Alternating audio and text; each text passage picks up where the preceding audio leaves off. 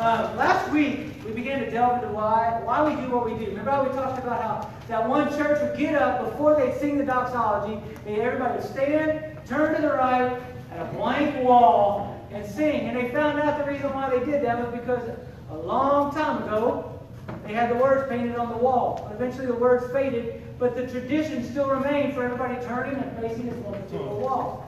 Well, last week we looked at the topic, the Lord's Supper. Why do we have communion? So if you didn't hear that, I encourage you to go back, look at the website, look on Facebook, watch that uh, particular teaching of why we take communion.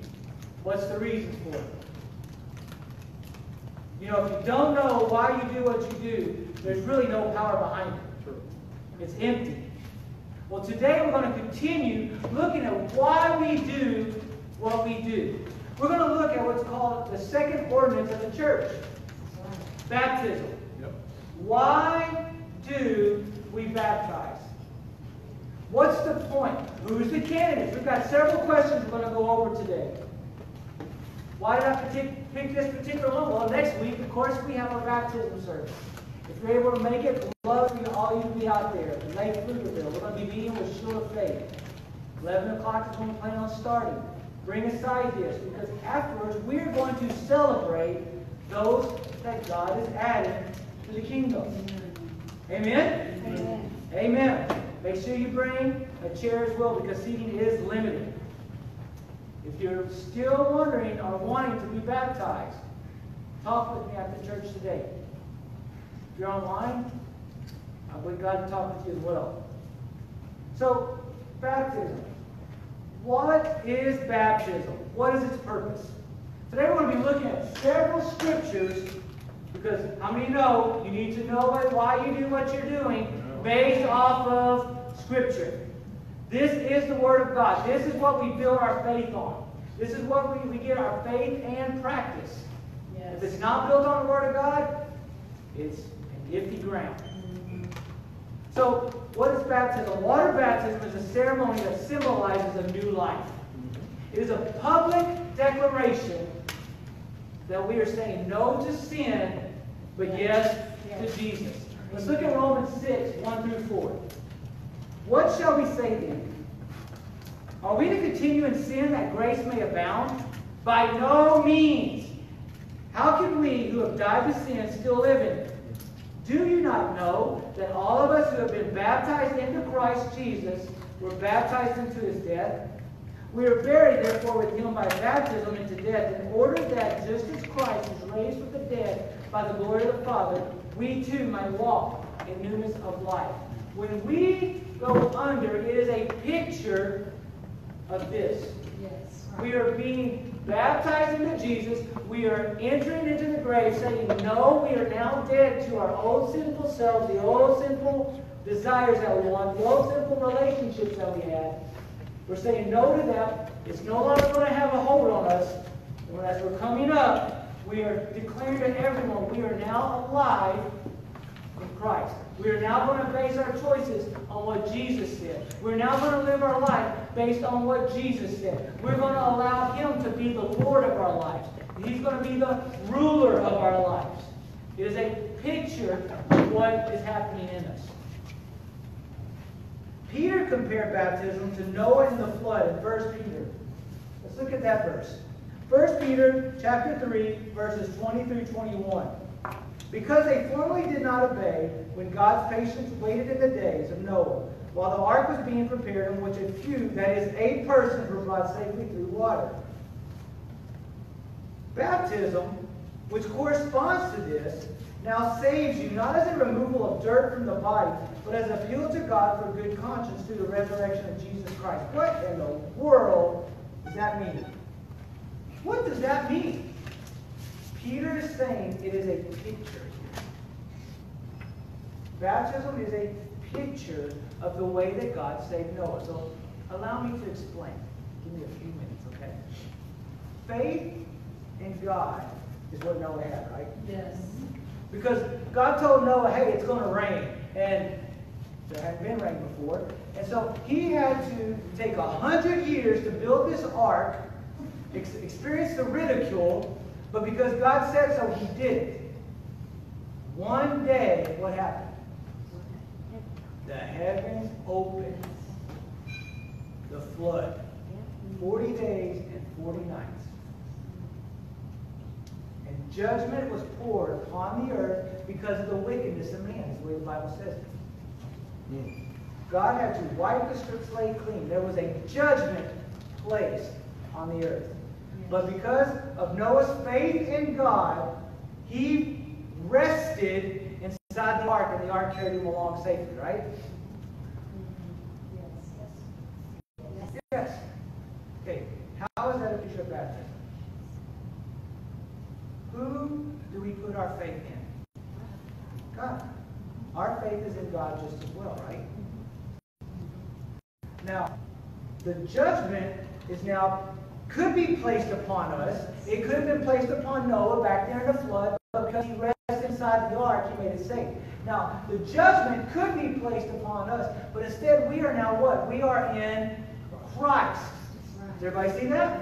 So we are in Christ. Now, the judgment was placed upon Christ. It was rained down upon Christ so that we no longer have to face the judgment.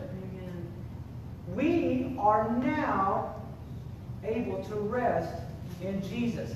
We no longer have to worry about God's judgment being poured out upon us if we have faith in God through Christ. The ark experienced the judgment of God as the world was being judged. Christ experienced the judgment that we, that was for us. He experienced, so now we're safe inside Him. Baptism is a declaration of that, is what Peter's saying.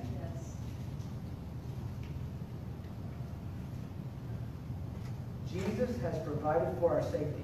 Now, one of the common misconceptions of teachings out there sometimes is that salvation is necessary for salvation. Some people say you have to believe and be baptized to be saved. There are a few verses that say that, but they take that out of context. Yes, exactly. Salvation is not through baptism. It's not. There's no way you can be saved just because you were baptized. Well, I was baptized when I was an infant, so I'm saved. No, you're not. Mm-hmm. That is not what the Bible teaches. I'm sorry. I don't mean to step on your toes, but it's not a requirement for salvation. If it was, then what about the, the guy who hung on the cross where he was dying? And Jesus looked at him and said, Today you will be with me in, in paradise. As he died on the cross, do you think he climbed down and got baptized? No. No. No. It is not a requirement. However, it is a declaration that you are saved. Yes. Yes. It is a declaration. Yeah, it's a testimony. That's a great way to put it. For example, here's an analogy. Whenever a couple gets together and they go to the court or justice of a peace to fill out a marriage license, and then they go through and they've got signs on it. You guys are legally married. You are married now. But yet they still want to have a wedding to symbolize that they're getting married. Was that wedding necessary for them to be married? No. No. The marriage license is what was necessary for them to be married, correct? Yes. The wedding was just a public announcement saying, hey, I give myself to her. Or, hey, I gave, my, I gave myself to him. You know? it's a public declaration that these two have made a covenant. Yeah. That is the exact same way that baptism is. You have made a covenant with God. You are sealed through the blood of Jesus Christ. You are one with Him. Amen. The baptism is the public declaration. Let everybody know. Yes. Right. I am now my God's. I am now living for Him. I am no longer going to be attracted to the things of old. Right? It works perfectly like that. So baptism is a public, everybody say public. Public. Public outward expression of what's happening on the inside. Amen. That's what baptism is. That is what baptism is. So, who is a candidate for baptism? Well, since it's a sign of repentance, since it's a sign of declaring, I am now in covenant with God, it is for believers Yes. only. Baptism was only designed for those who are saying to everybody else, I am now following Jesus with all my heart and I am turning my back on everything else. Jesus is what really matters to me.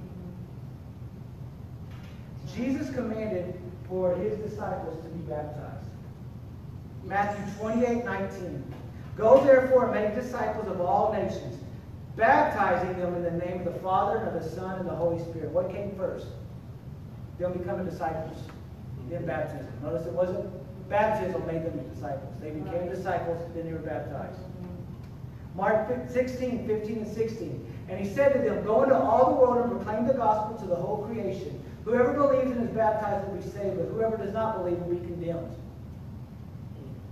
After you believe, be baptized. After you believe, be baptized.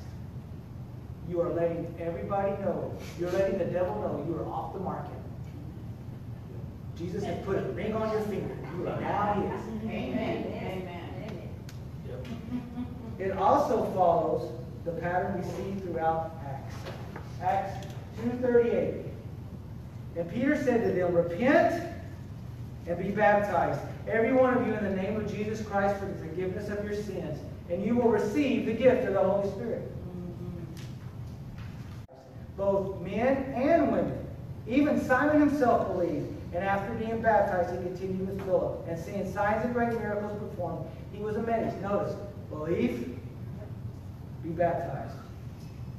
Acts 16, 31 through 34. And they said, Believe in the Lord Jesus, and you will be saved, you and your household. And they spoke the word of the Lord to him and to all those who were in the house. And he took them to the same hour of the night and washed their wounds, and he was baptized at once, he and all his family. Then he brought them up to the house and set food before them. And he rejoiced along with the entire household that he had believed in God. Believe, baptized. Baptism is for believers only. only. So only a believer should be baptized in order to declare that he or she is a follower of Christ. Yes. Let's look at another question. So far we talked about why baptism, we talked about who should be baptized, but why in the world do they have to dunk you? Is sprinkling okay? Is putting a little like holy cross on you okay? Well, not if you're really going to be baptized. Baptized. Immersion is the closest picture to what we read in Romans 6. You are buried to sin. In other words, you're dead to it, and you have risen to life in Jesus. It's the closest thing to it. When you go under, it's like you're being clothed in death. When you come up, you're raised to life. It's the closest picture. But also the word itself. The word itself for baptize is baptizo. Baptizo. It means to dip under or immerse. Baptizo. Other passages that illustrate that it was, it was used by immersion is John 3 23. John also was baptizing at Aenon near Salim because water was plentiful there. Yes. Why would there need to be plenty of water if it was just, I'm going to grab a cup and throw it on you? There had to be enough water to go down Yes. and up. Okay? Or even Mark 1.10. And when he came up out of the water, he had to come up out of it. Another picture that shows that it was the biblical model is immersion. Or Acts 8, 35 through 39. Then Philip opened his mouth and began with the scriptures. He told them the good news about Jesus. And as they were going along the road, they came up to some water, and the eunuch said, See, here is water. What prevents me from being baptized? And he commanded the chariot to stop. And they both what? Went down into the water, Philip and the eunuch, and he baptized. And when they came up out of the water, the Spirit of the Lord carried Philip away, and the eunuch saw him no more, and he went away rejoicing. These are just a few of the scriptures that show that the biblical model for baptism is immersion. And it's only, only, only available to those who are being married to Christ. You are the bride of Christ. Your baptism is a picture like a wedding. Mm-hmm. You're telling the enemy you're off the market. You are dead to that old way of living, to the old lies that the Satan used to tell you. And that your only Yes. love in life is going to be Jesus. Amen. Yes. Well, baptism is a public ceremony where you're letting everyone know that you made change. You have made a change. So just like a wedding, if you're deciding to be baptized, invite people. It is a celebration. Yes. Let as many people know what Jesus is doing in your life. And that you are his and he is yours. That's right. Be obedient to his example. So I encourage you, if you have not been baptized, and you're wanting to make that public declaration, let us know. Next week, you have an opportunity. There was one from Shield of Faith that wasn't going to be able to be there next week, so she asked if they could make a special session. They went and baptized her just the other day Oh, at Lake Pflugerville. It is cool. awesome. It is, it is, it is something. Next week is going to be, it would be an awesome opportunity if you haven't done that before. Amen? Amen. Let's go ahead and pray. Father, we absolutely love you. And Jesus, we want the world to know that we're yours and you are ours. We thank you for the ceremony of baptism that you put into place as a sign. We thank you, God, that we now understand why we do it. That it's not just something we do because we want to or because it's been passed down. We do it because it's actually a declaration of what you've done in us and what our relationship signifies. We love you, Father. We thank you, God, for all that you do. In Jesus' mighty name we pray. Amen. Amen.